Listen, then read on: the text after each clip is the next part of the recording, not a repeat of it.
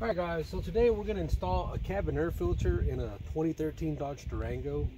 I paid about $19 for the filter and it goes in this area here. So let me uh, get the camera closer. Alright guys, so the filter goes in here and actually goes behind all this section. And there was a little string that went on here. Mine actually came undone a while back. But you got to push inward here and it releases this little section here Oops.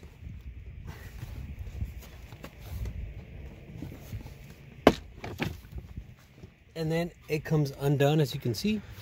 All right guys, so you pull this out and this section was staying hung up on there.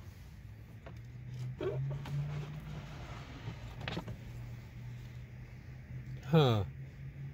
Then we got a problem. All right guys, it's a tight fit on there. I just got to wiggle it. There we go this little section here is kind of in the way so it goes in there kind of tight and then once it lifts up it'll slide in position. So that's where the filter uh, sits.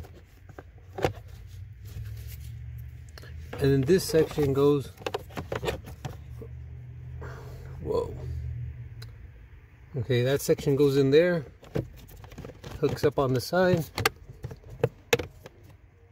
and it snaps up here and over here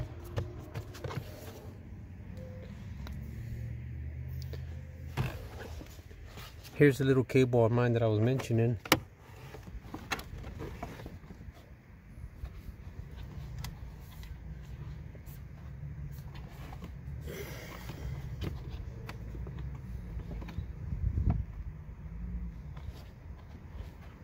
Okay that's in. The bottom is in position. Push this in again. There we go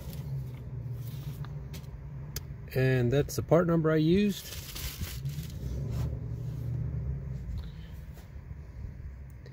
And here's the filter again.